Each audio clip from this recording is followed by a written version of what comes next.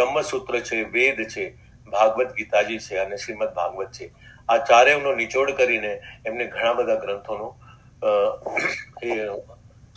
સામર્થ્ય કર્યું છે અને એને એમનું નિર્માણ કરેલું છે. તો આવા શ્રી મહાપ્રભુજી વિશે આપણે થોડું એક ટૂંકમાં એક એક એક એક શબ્દો અથવા બે લાઈનોમાં એનું ઇન્ટ્રોડક્શન કરીને મહાપ્રભુજી વિશે આપણે અહીંયા આગળ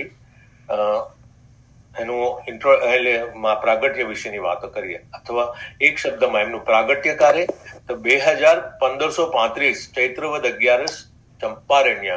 ચંપાનું આરણ્ય એ ચંપારણ્ય.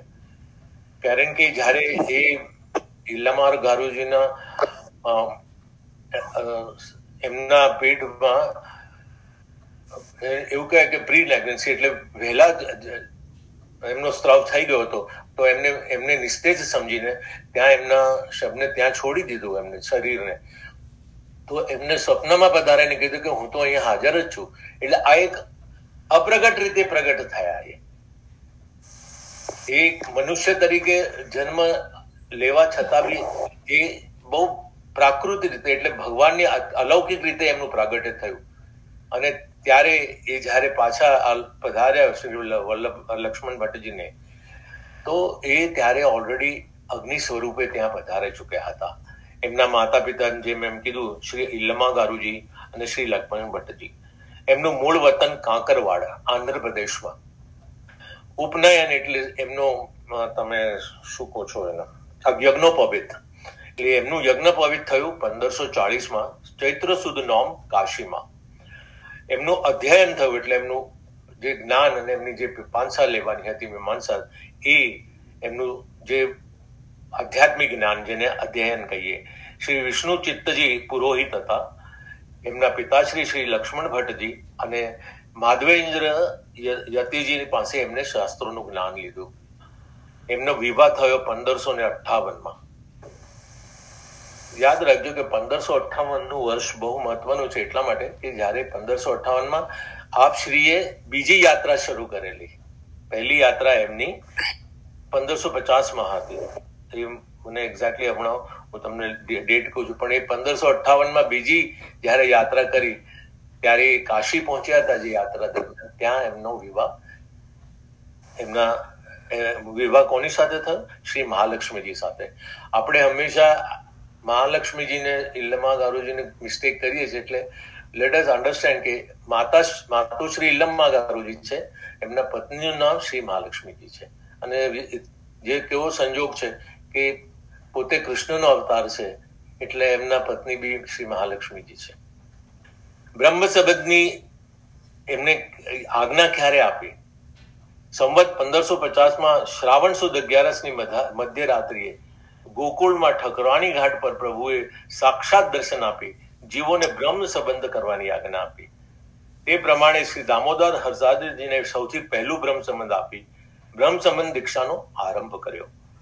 દૈવી જીવોને શરણે લઈ તેમનો ઉદ્ધાર કર્યા. આપ શ્રીએ ચોર્યાસો સેવકો પ્રસિદ્ધ કર્યા. આ ચોર્યાસી શબ્દ એમના માટે કેટલો બધો એમ કહેવાય કે પવિત્ર અને આધ્યાત્મિક છે કે એમની બેઠકો ચોવીસ છે, ચોર્યાસી છે, એમના વૈષ્ણવો ચોર્યાસી છે. એમના અમુક જે કમળ, આપણું જે કમળ કહીએ છીએ, કમળની પાંખડીઓ ચોર્યાસી છે, એ એનું નિદાન આપશ્રીએ કરેલું છે પ્રભુ પ્રભુશ્રીએ. એમના સેવા પ્રકાર શ્રી ગોવર્ધન ધર પ્રભુની આજ્ઞા થતા તેમને શ્રી ગિરિરાજમાંથી બહાર પધરાવી, એટલે જે એમનું મિલન થયું હતું, એ પ્રાગટ્ય થયા શ્રીનાજી એ પછી એમનું મિલન થયું હતું. એની વાત હું પાછળથી કરીશ. મંદિરમાં પ્રતિષ્ઠાપિત કરી અને તેમનો સેવાનો પ્રકાશ કર્યો આ એક જ મંદિર છે આપણા આખા હિન્દુસ્તાનમાં, કે જ્યાં શ્રીનાથજીનું મંદિર કહેવાય છે. શ્રીનાથજી અહીંયા પધારીને શ્રીનાથ દ્વારમાં પણ મંદિર છે, પણ મહાપ્રભુજીએ એક જ મંદિર સ્થાપ્યું. અને બાકી આપણે જે બધા જે સ્થાન બનાવીએ છીએ એના સ્વરૂપના, એને આપણે હવેલીનું નામ આપીએ છીએ. ભારતમાં દૈવોના જ ઉદ્ધાર માટે ત્રીસ વર્ષની આયુ સુધી ભારતની ત્રણ પરિક્રમા કરી સૌથી પહેલા પંદરસો ને ત્રેપનમાં. બીજી એમને પંદરસો ને અઠાવનમાં અને ત્રીજી પરિક્રમા પંદરસો ને છાસઠમાં. ત્યારે એ લગભગ પિસ્તાળીસ છેતાલીસ વર્ષની પહેલા હતા. અને પછી છ વર્ષ પછી એમને આસુર વ્યૂહ નોલી લીલા કરી. ત્યારબાદ આપશ્રીએ ગ્રહસ્થાશ્રમ પછી શરૂ કર્યો. એટલે એમના, એમનો વિવાહ પંદરસો અઠ્ઠાવનમાં થયો. આઠ વર્ષ પછી એમને ત્રીજી યાત્રાનો જે નિયમ લીધેલો, એ સંયમ ત્યાં પાડ્યો અને પછી ગ્રસ્ત આશ્રમ આપશ્રીને બે પુત્રોનું પ્રાગટ્ય જ કહેવાય. આપણાથી એમનો જન્મ ન કહેવાય, પણ પ્રાગટ્ય થયું. એમના થકી શ્રી ગોપીનાથજી પંદરસો ને સડસઠમાં અને વિઠ્ઠલનાથજી પંદરસો ને બોતેરમાં એટલે પંદરસો ને બેતેરની તારીખ આપણે સમજીએ, ત્યારે શ્રી ગોસાઈજી, શ્રી વિઠ્ઠલનાથજી એક વર્ષના મૂળમાં હતા. એટલે આપણે આ વસ્તુનું સંગઠન કરીએ ને તો બહુ આપણને સુંદર ખબર પડે છે. એમની ચોર્યાસી બેઠકો પ્રસિદ્ધ છે. હશે વધુ એનો આપણને અંદાજ નથી, પણ ચોર્યાસી બેઠકોની વાત આપણી પાસે અહીંયા આવેલી છે. એમના ગ્રંથ સાહિત્યોની તો જે સીમા છે, કેટલાક સાહિત્ય અને ગ્રંથોની આપણને ખબર નથી.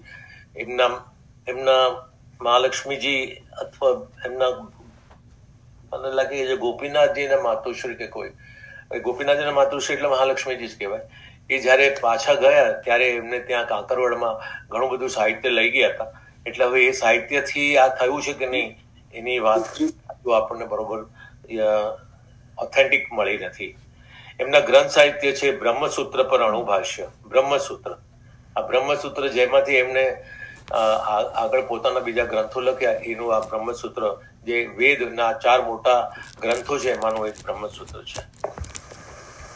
ભાગવતજીની સુબોધની ટીકા, તત્વાર્થ દીપનો નિબંધ પૂર્વ મીમાંસાનું ભાષ્ય, ગાયત્રી ભાષ્ય, પત્રાવલંબન, પુરુષોત્તમ સહસ્ત્રમ નામ. પુરુષોત્તમ સહસ્ત્ર નામ શા માટે અને શા માટે એમને એમને પ્રસિદ્ધ કર્યું?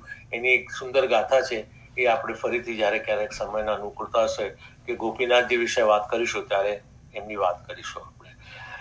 દસમ સ્કંદની અનુક્રમણિકા, ત્રિવિધ નામાવલી, શિક્ષા શ્લોકા, ષોડશ ગ્રંથ, યમુના શક્તિ, સેવાફળ. યમુના શક્તિ, સેવાફળ એ ષોડશ ગ્રંથનું મેં અંગ્રેજીમાં ટ્રાન્સલેશન કરેલું છે અને એની ઓડિયો ક્લિપ યુટ્યુબ પર અવેલેબલ છે. એટલે કોઈને ષોડશ ગ્રંથ સાંભળવો હોય, વાંચવા કરતા સાંભળવાનું ગમતું હોય તો એમને એ વાંચવાનો લાભ મળી શકે છે. મધુરાષ્ટકમ તો ઘણું સુંદર છે. પછી આપણને ફાલ્ગુની ચાન્સ મળે તો આપણે મધુરાષ્ટકમ વિશે બી શરૂ કરીશું. પરિવૃઢાષ્ટક કરીને છે. નંદ કુમારાષ્ટક છે. નંદકુમાર એટલે આ નંદની લીલા છે જે વ્રજની લીલા છે એના વિશેનું એમને ઘણું બધું ત્યાં આગળ ટીકાઓ કરેલી છે. કૃષ્ણાષ્ટક છે. આ બહુ જ બધા, એટલા બધા એમ કહેવાય કે અલભ્ય છે, આપણને મળતા નથી આ બધા ગ્રંથો. પણ મળી જાય તો આપણા નસીબ સારા કહેવાય. ગોપીજન વલ્લભાષ્ટક છે.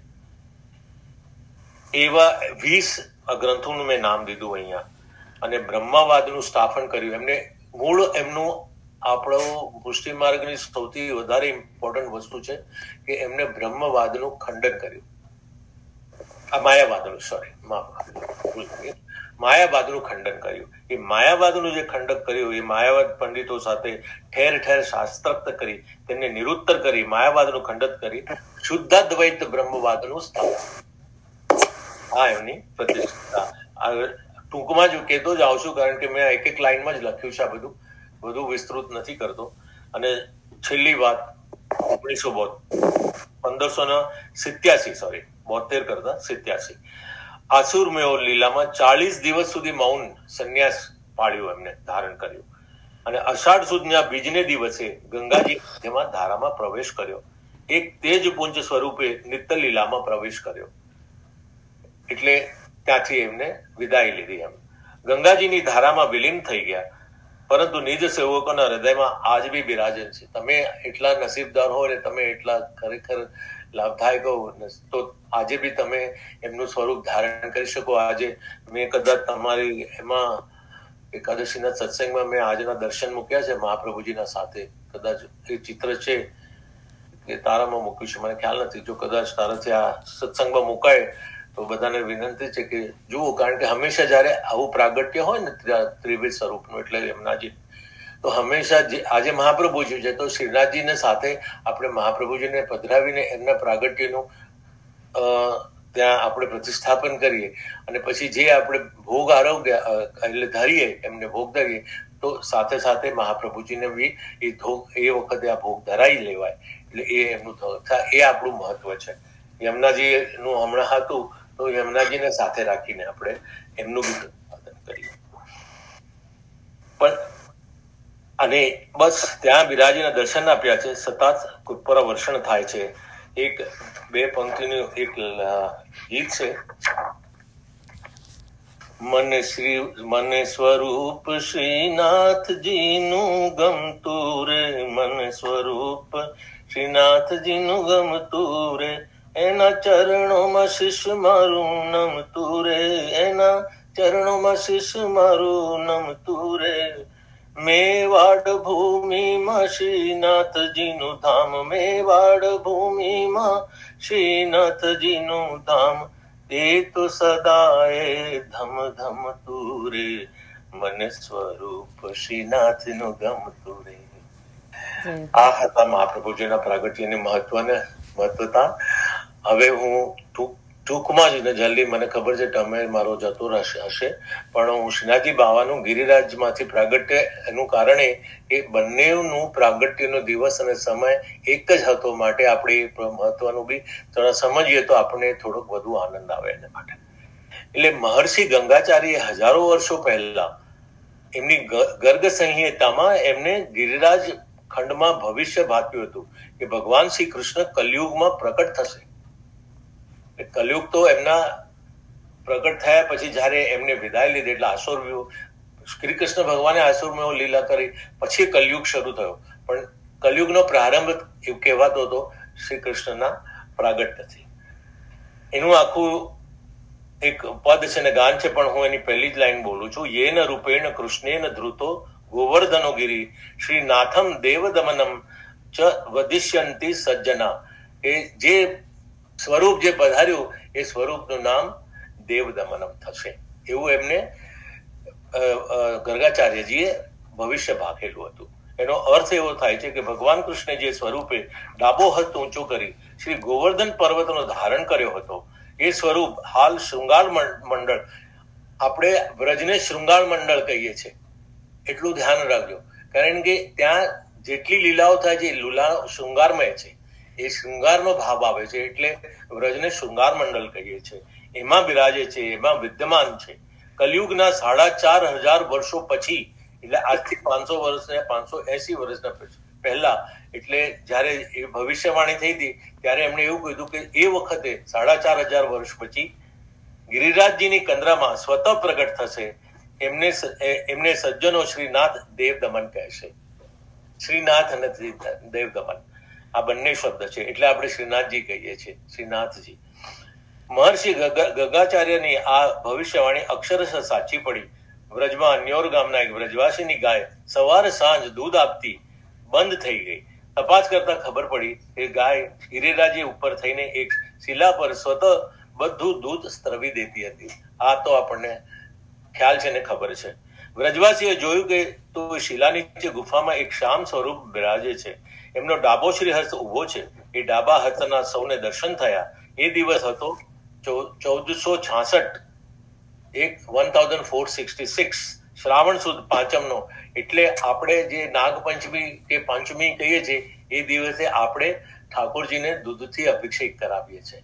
અને જે આજે ગોપાલપુર કે જતીપુર આપણે જે સ્થાન કહીએ છીએ, ત્યાં એમનો આ રીતે જે રોજનો દૂધ ધરાવવાનું શરૂ થઈ ગયું છે, એ શરૂ ત્યારથી થયો છે. તે દિવસ શ્રીનાથજી બાવાની ઉર્ધ્વ દ્વામ ભુજાનું પ્રગટ થયું. ફક્ત ઉર્ધ્વ દ્વામ ભુજા, એમની ડાબો હાથ.